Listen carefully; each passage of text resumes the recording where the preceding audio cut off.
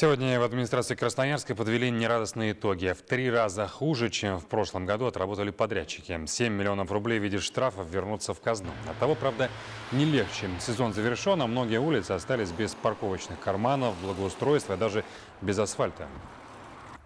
Что мешало организовать работу таким образом, чтобы оперативно сделать все необходимые анализы? Что вы сделали для того, чтобы график выполнения работ поквартально на проспекте Мира был таковым, чтобы сделали квартал, вырезали, оценили, дали добро на следующую работу? Чтобы избежать ошибок в следующем году, решили конкурс для подрядчиков проводить раньше. Тогда работы будут сданы вовремя. Но самым главным фактором отсева недобросовестных дорожных организаций должны стать отсроченные платежи. Изменения коснутся не административного ресурса. Эдхам Акбулатов потребовал провести реорганизацию городского центра капитального ремонта и благоустройства и возложить обязанности по ремонту дорог на другую структуру. А вот лабораторию для контроля качества асфальта власти приобретут собственную.